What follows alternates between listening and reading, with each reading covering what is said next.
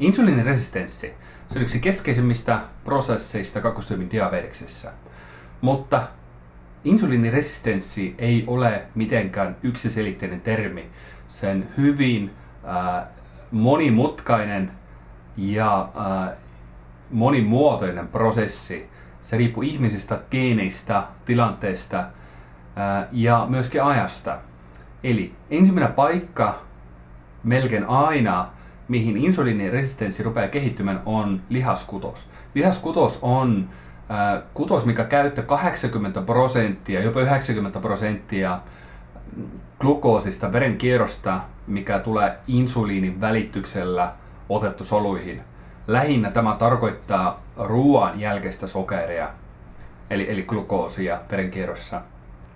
Joko ongelmana on se, että ihminen saa ruoasta enemmän energiaa kuin kuluttaa, joku sairasprosessi, joku, joku lääkitys, raskaus, mikä vaan mikä, mikä aiheuttaa elimistössä tulehtusvälittäjäaineiden nousua, ää, aiheuttaa lihaskudoksissa sen, että insuliinin vaikutus laskee.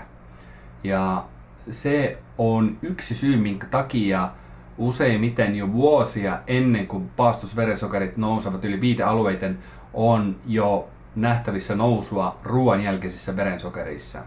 Elimistö yrittää kompensoida sitä lisäämällä insuliinituotantoa ja eritystä verenkiertoon.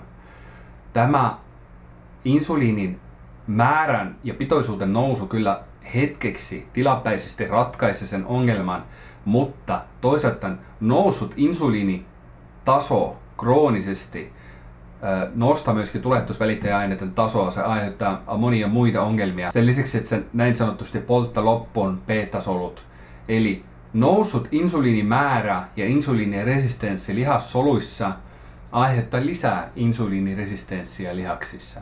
Eli kyseessä on noita kehä, mikä pitää katkaista. Vasta sen jälkeen, kun lihaksin on kehittynyt, insuliiniresistenssi rupeaa kehittymään rasvakutokseen ja sen jälkeen maksaan. Ja silloin kun insuliiniresistenssi on kehittynyt maksaan, vasta silloin paastosokerit nousevat yli viitealueiden tason ja, ja voidaan todeta kakkostyypin diabetes. Tämä on yksi syy, minkä takia lihaskutos on erittäin tärkeää, varsinkin diabeetikoille. Pitääkö omasta lihaskunnosta ja lihaskutoksesta huolta.